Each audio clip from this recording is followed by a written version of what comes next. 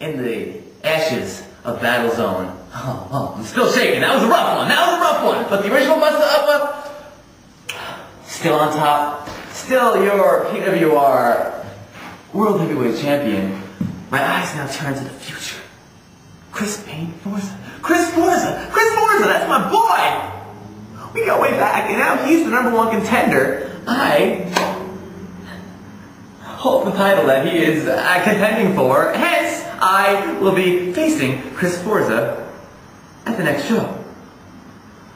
Me and Chris Forza, you know, it's an intimidating prospect, and you know, Paintree, we, we ride together, me and Chris Forza. We ride together, but next month, Chris, I'm sorry, but you know, you and I both know that when it comes to this, I'm giving it everything I've got, friend or no friend, it doesn't matter. You two are gonna learn what countless others have learned, that you do not underestimate this man, you do not, you do not take this man, you do not take this man lightly.